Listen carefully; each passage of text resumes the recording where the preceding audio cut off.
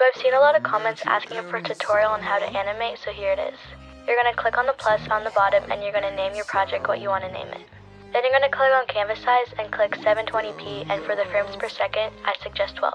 Then you're going to click on the three dots and click add video, then click video library and pick the video you want to use.